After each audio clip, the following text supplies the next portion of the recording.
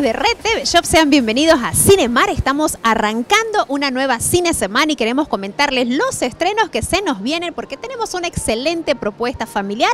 Es Harold y su crayón mágico, protagonizado por Zachary Levy, más conocido por su papel en Shazam. Esta película la van a poder disfrutar toda la familia, súper entretenida, así que compre ya sus entraditas.